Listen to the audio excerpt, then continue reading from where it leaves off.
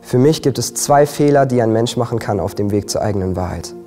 Erstens, ihn nicht antreten und zweitens, ihn nicht zu Ende gehen. Was wir im Moment erleben, ist beides. Da sind die einen, die den Weg gar nicht erst antreten, weil sie auf das vertrauen, was andere für sie entschieden haben. Weil sie auf das vertrauen, was ihnen vorgegeben wird. Oder manchmal auch einfach, weil sie zu träge sind und lieber in ihrer Komfortzone bleiben möchten. Und dann sind da, glaube ich, jede Menge Menschen da draußen, die einfach irgendwann das Gefühl haben, ich habe nicht mehr die Kraft, ich kann einfach nicht mehr. Ich kann diesem Druck, den ich gerade durch die Familie oder gesellschaftlich oder auf der Arbeit oder sonst wo erfahre, ich kann ihm einfach nicht mehr standhalten. Und dann entscheidet man sich für einen Weg, den man eigentlich gar nicht gehen möchte.